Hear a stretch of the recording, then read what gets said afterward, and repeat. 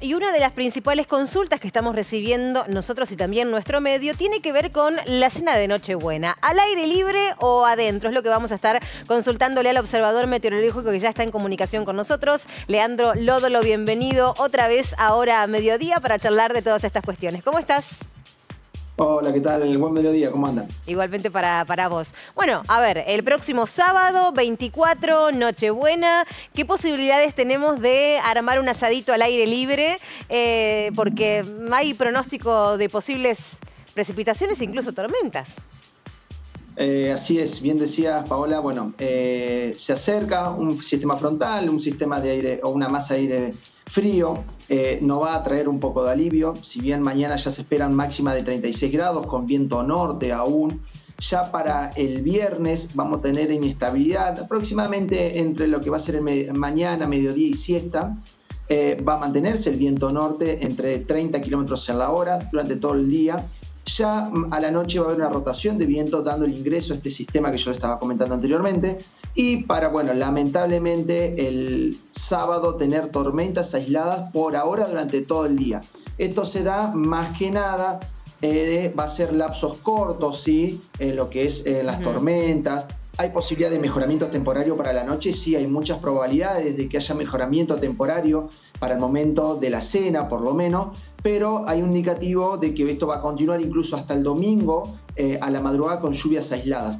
Van a, el día sábado a haber tormentas aisladas durante todo el día, pero un, eh, un, dato a tener en cuenta va a ser el viento del sector sur, entre 20 a 33 kilómetros en la hora durante todo el día. Esto va a dar una, una situación de baja temperatura, va a haber ese vamos a tomar aire, vamos a tomar aire fresco, pero eh, recomendación por ahora, al día de hoy, es eh, adentro más que nada por la situación de que puede ser que justo en el brindis caiga un chaparrón claro. Eh, y este viento afecte.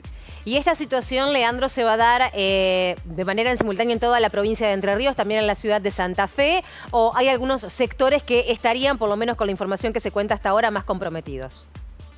Eh, bien, esto se, va a caracterizar eh, básicamente eh, en regiones, ¿no? En lo que es centro y norte o noroeste de la Argentina. Entre Ríos y Santa Fe no es la excepción. Así que bueno, a estar atentos. Por ahora no hay alerta meteorológico. Lamentablemente vamos a tener alguna inestabilidad. Pero bueno, crucemos los dedos y esperemos que nos deje brindar por lo menos a la madrugada, o mejor dicho, a las 12 con nuestras familias. Hoy máxima de 33, vos lo decías, mañana máxima de 36 para la ciudad de Paraná. Te consulto, eh, ¿vamos a tener los valores, los registros en las próximas semanas que tuvimos semanas anteriores, pensando en lo que fue, por ejemplo, el final de noviembre, con temperaturas por incluso llegando a los 40 grados, sensaciones térmicas que estuvieron por encima de ese registro? Eh, ya que pensar que se vienen nuevas horas de calor y esto cuándo sería. Eh, bien, con respecto a estos días inmediatos, que son cinco de lo que eh, hacen los modelos meteorológicos, en este caso el servicio meteorológico, por ahora no va, a superar por ahora en 36 grados. ¿sí? Vamos a tener este fin de semana de eh, buenas condiciones en sentido de temperatura, no van a ser mayor a 25 grados aproximadamente debido a este sistema de tormentas y viento sur eh, por ahora no vamos a tener esta ola de calor, lo que fue finalizando casi con más de 40 de sensación térmica. Por ahora no. Cabe destacar que hoy comienza el verano, a partir de las 18.25, si no me equivoco, comienza el verano, el solsticio de verano. Ah, mira. Así que bueno, estar, atento para que ya preparémonos para lo que viene el verano. Eh, bueno, un dato interesante entonces. El solsticio se produce entonces, ¿a qué hora nos recordás? Si no mal recuerdo en este momento, 18 y 25 se da que, en este caso, se da que la, cantidad de horas de sol es la misma cantidad de hora de oscuridad o de, o de noche, vamos a llamarlo. Es el momento exacto, el día más largo y después a partir de este día se comienzan a cortar los días hasta el invierno. Exactamente. Por último, te pregunto por las precipitaciones, más allá de este evento puntual que seguramente se dará durante el fin de semana próximo, concretamente en la noche del 24. ¿Cuál es el pronóstico extendido para las precipitaciones en esta temporada de verano? En la última charla que mantuvimos con vos, vos nos decías que este fenómeno de la niña va a continuar por lo menos unos meses más. Se espera que el primer trimestre del 2023 sea bastante seco, por plantearlo de alguna manera. ¿Hay alguna modificación, una actualización en esta información o ustedes siguen manteniendo estos valores por debajo de lo normal en cuanto a lluvias?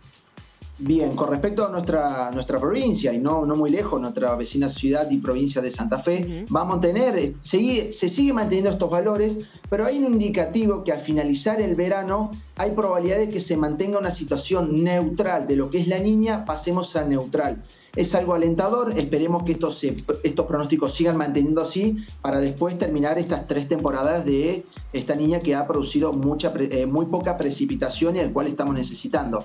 Se siguen manteniendo los valores por debajo de lo normal y bueno, estar atento y esperemos que esto, eh, a finalizar el, verano, esta neutralidad rote al niño o se mantenga, pero por, eh, nos dé más precipitaciones.